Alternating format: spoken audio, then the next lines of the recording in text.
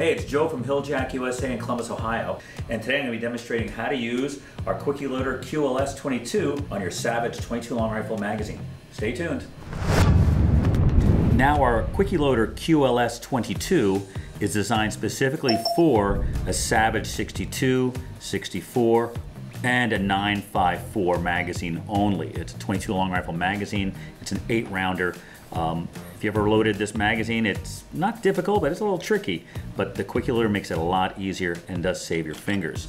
Uh, what we typically do is we place the Quickie Loader onto the magazine, and I like to grip around the perimeter, the flange. It's an ergonomic design, and all we're gonna be doing is pushing down on here. And what's happening is the plunger in the middle is doing all the work, and pushing down on the follower, which is the red plastic part in the magazine.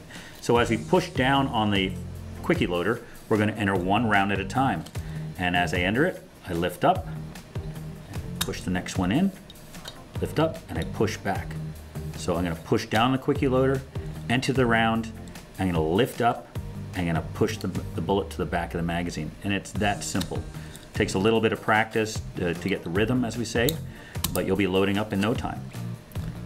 Now these magazines by Savage are really nice quality. It's a steel magazine, which is unique. Uh, it looks like it's, it's a really well made product. Um, and our Quickie Loader works great with it. So if you got a Savage 62, 64, or 954, get yourself one of our Quickie Loaders. Get loaded quicker.